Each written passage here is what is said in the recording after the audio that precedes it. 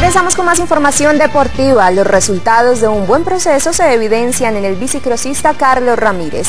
Después de dos años en el Centro de Alto Rendimiento en Suiza, obtuvo como premio a ese proceso el título mundial juvenil en Inglaterra. Luego de alcanzar ese título regresó a Suiza para terminar sus entrenamientos y este fin de semana volvió a su casa.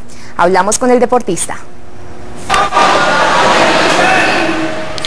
Regresó a Medellín el campeón mundial de BMX categoría junior Carlos Ramírez, después del título conseguido de Birmingham, Inglaterra, el pasado 26 de mayo. El antioqueño que a los 8 años ya había sido campeón mundial en Brasil, dio un paso importante antes de ascender a la categoría élite.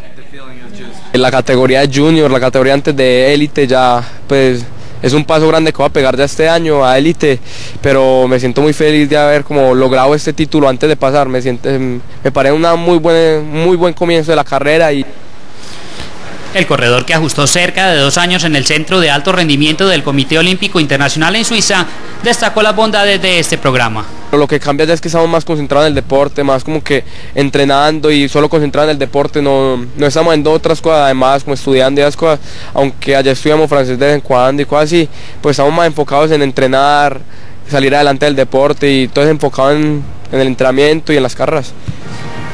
El biciclosista permanecerá en Colombia para afrontar las diferentes carreras del calendario nacional, pero de ahora en adelante como profesional.